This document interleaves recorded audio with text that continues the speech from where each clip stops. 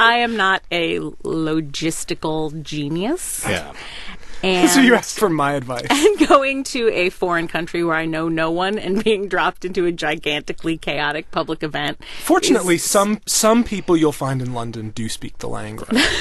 May I intrude on the jocularity for some actual advice? Were Absolutely. you looking for something? Some I, I re- that's exactly what I was about to say. I, I do actually take this seriously. They are sending me to London. It's the first time I've been in London. I am interested in popular culture and culture in general, and I, I intend absolutely to soak up all kinds of great stuff. And I and I want to just make it very clear that as much fun as we're all having at my expense, including me, I actually do want to learn some stuff. Hit me, Glen Weldon. All right. As much as you like being part of this giant mass of elbows and breath and sweat Yes, and stomping toes, yes.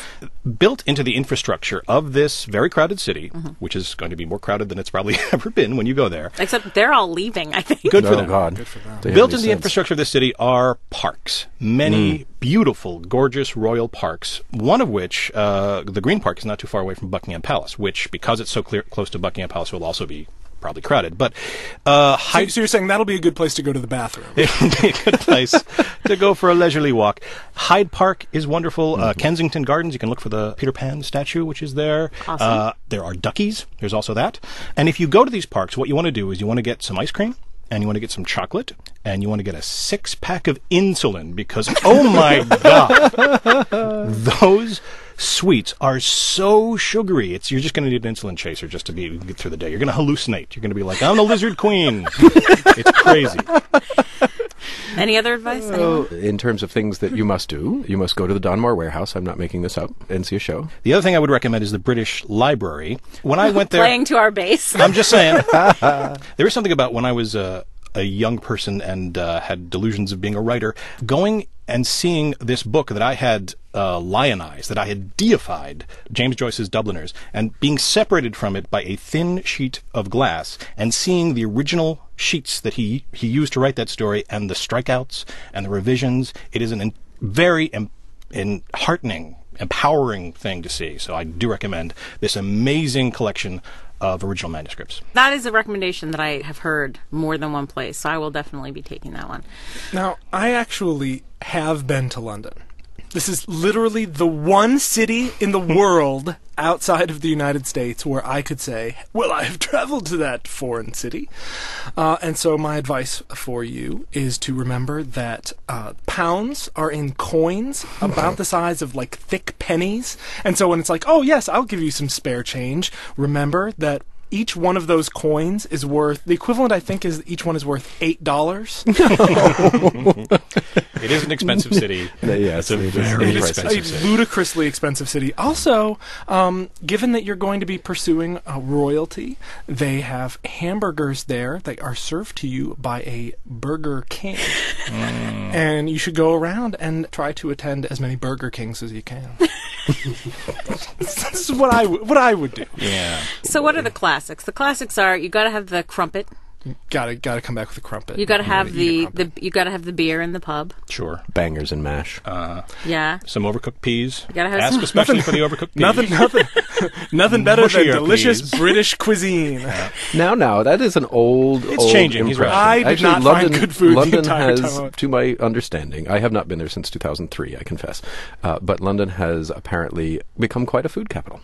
Yeah, and also the if you are a fan at all of Indian food, you can Oh, find God, yeah. Really you're cheap, right, that's what I ate. really cheap That stuff, and you can also find this amazing, um, more expensive but but unbelievable food. I had a Rogan Josh there that I'm still dreaming about. It's amazing. All right, I take it back. There's good Indian food. Last thing I'll say is that after undergrad, which is the really obnoxious way to say after college, uh, I uh, took a backpack trip through Europe for a few months, and I started and ended the trip in London. as you do. As one does, which is a cliche, I grant you, but as cliches go, I'm a big fan of that particular cliche. Did you stay in hostels? I did. I did the whole youth hostel and the Eurail thing. But because London is just so expensive, I got there and I realized I have to get the hell out of this town as soon as I can because I do not have the money to stay in this town. So uh, within a day, I was, you know, on on the continent. And uh, but the thing you find out about yourself. The thing I found out about myself when traveling alone is how unbelievably cheap I am. I had no idea. I'd never had this experience before, but I'd be like, well, I, I ate yesterday. You know, I mean, it was just crazy. and I was I, I was working on a farm, and I was I was doing all this uh, very un-me kind of stuff. and it was just this monk-like ascetic existence for month for months. And then when I came back to London, I had lots of money left over. And if you have lived for months a very ascetic existence, the thing you want to do is come back to London with lots of money because I spent a week living this crazy sybaritic existence of just eating lots of Rogan Josh and buying books by the ton. But also, in America, when you get an expensive hotel room, you get lots of space. Right. Because it's an American American thing. Right. Big. Uh, manifest destiny, big, big space. Right. In uh, London, especially in this particular part of London, which is a very touristy part down near Buckingham Palace, you get the same cramped, dingy, tiny little space, but everything is tufted. There are pillows everywhere. Everything is overstuffed. And it was just this amazing experience to go from hostile bunk to this unbelievably pillowy place. And here's the last thing. The thing you will experience, the thing you will realize why this country had an empire at one time, the heated towel rack. Mm-hmm. oh my God. Mm. It is just an amazing, Source such a power. smart thing. The heated towel rack. You will you will come back and you'll just be wanting to You should nuke also- your towel rack. You should also at your hotel you should ask for the honeymoon suite, so you will get a bed that is as as wide across as my forearm.